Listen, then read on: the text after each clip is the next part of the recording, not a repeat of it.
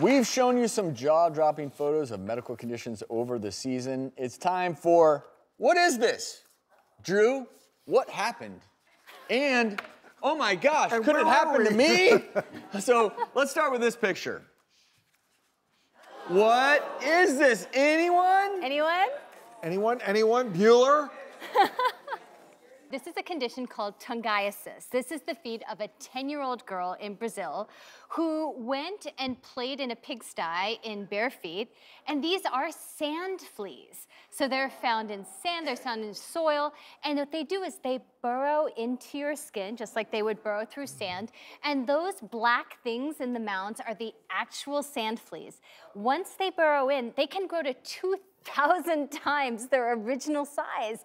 And the way these are treated is you have to go in and take them out one by one, then you take care of the wound. And this little girl is fine. She's completely cleared. But this image is so striking from the New England Journal of Medicine. Have you have you removed like live fleas from under the skin? You know, I've, to be fair, I've only done it once. I've done Well, myiasis, done which is yeah, bot flies.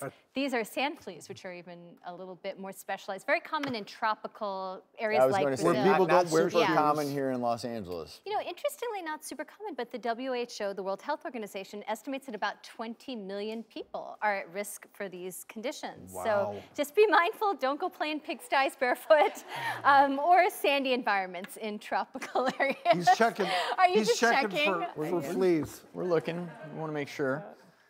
All right, so let's move on to our next photo. Any idea what happened here?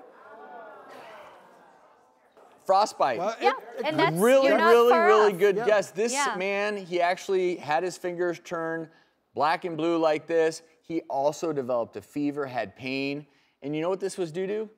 Something known as polyarteritis nodosum. And this is essentially a vasculitis, which means he had severe inflammation of his medium sized vessels, obstructing blood flow. And he had to go on basically anti inflammatory treatments to improve the vasculitis.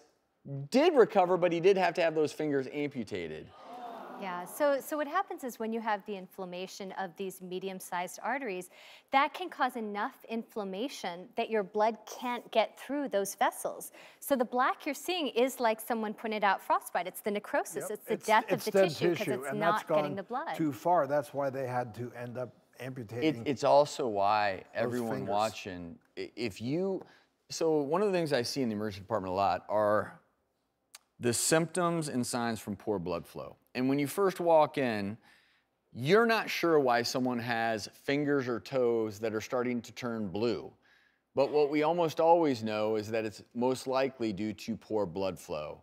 And so we have to figure out well, is that due to long term smoking? Is this due to an inflammatory condition, an autoimmune disease? cold.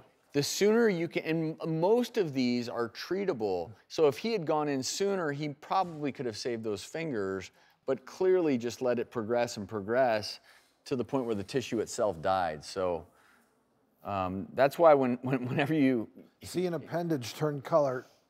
Yeah. don't- you even, wait, even the slightest bit of like a hue of blue, go, go get it checked out.